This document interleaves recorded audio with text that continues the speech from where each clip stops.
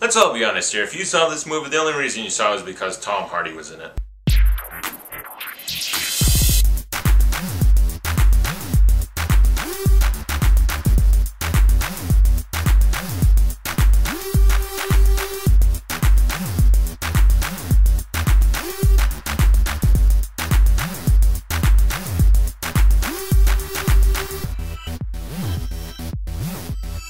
This means war.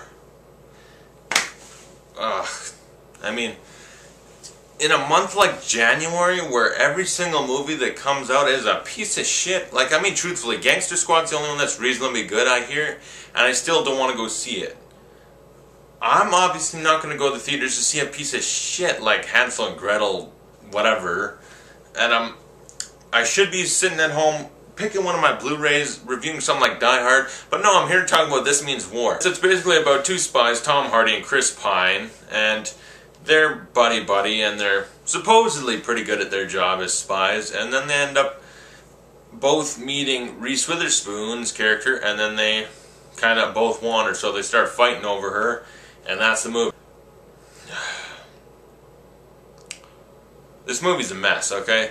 It's directed by McG. Now, McG, you directed Charlie's Angels. I like that movie, okay? That movie's fun and silly, and it was entertaining, and, you know, I like it, okay? I don't got beef with that movie, but, you know, Terminator Salvation, meh.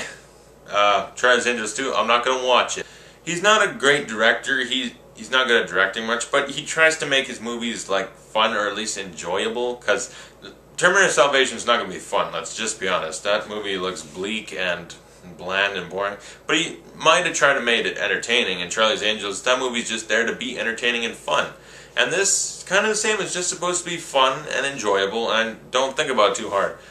But good God, I mean, there's some comedies out there where, like, yeah, they're fun, enjoyable, entertaining, but if you think about them, they're smart too. I mean, Bridesmaids. That movie's got a couple dumb humor, but you know, the story doesn't suck. The story, like, yeah, you can believe that that's happening. As crazy as Horrible Bosses got, that movie, yeah, I, be I believe that's all happening. I can follow it. The movie's not stretching the limits I'm willing to go for. Ted, a movie about a magical teddy bear that comes to life with Mark Wahlberg. Why did I say it like that? I mean, that movie. I believe it. It it it does not make me question like would that really happen or you know that's actually kind of dumb. No this does. This has problems. First off okay tom hardy and chris pine they're kind of good at their job. They kind of screw up like from the first scene we get of them. They screw up a job really bad. Then the rest of the movie instead of trying to catch this really bad terrorist that they say is bad he's lame as shit. And it was hugo stiglitz from inglourious basterds that guy should be awesome. He's a lame ass terrorist in this. He's so boring. He's just walking around the whole movie Like that's all he's doing. He's just walking around making angry faces. He's lame, okay? And then you get them. Instead of trying to catch the really lame terrorists, they're just spending how much of the government's resources on fighting over Reese Witherspoon? They're using like spy planes and all this uh, surveillance gear and like all these types of things, all these resources that could be used to get terrorists or other actually bad people. No, they're just like they get other people involved. Like everyone's just like, yeah, let's just go along and like help them fight over this chick. It's like really, like that's a problem. But like if the movie's fun, I can get over it. And the movie, I admit, it was pretty fun the first bit. I mean, it's funny. I, I thought it was fun. I I thought about it, I'm like, this is kind of dumb, but you know, it's funny. And then at a point, it just stops being funny, and then you just can't help but be like, really? Alright, now there's nothing to it because they just bring in a lot of heavy drama at one point. Then it's like, it's not fun anymore. And the parts that are supposed to be funny actually just annoy me. And now I don't like this movie. This drama doesn't work. And um, let's talk about the main people because aside from just kind of the script falling apart, the acting, the acting is good, but I don't care about the actors. Tom Hardy is the only one because Tom Hardy in this movie plays a very good friend. He's a good man. He's like loyal. He's not like a dick. It's like, oh, we're dating the same girl. We shouldn't do this.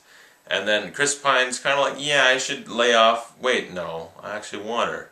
And then Chris Pine is the douchebag friend that decides, I'm going to make this a contest and all. And Tom Hardy, by contrivance of the plot, goes along with it. But Chris Pine as a friend goes from being just kind of a douche, but still a friend.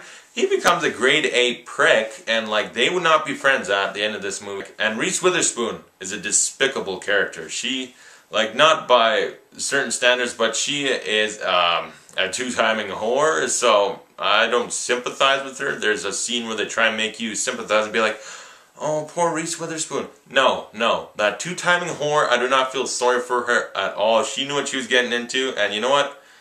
She deserves worse to happen to her than does. You don't care about Reese Witherspoon. She's a bad character. She's not likable. Chris Pine becomes not likable. Tom Hardy, likable enough. That's why I didn't shut the movie off. But I mean, the, the characters, I don't like them, and the script just falls apart. It stopped being fun for me. The first half was fun, though.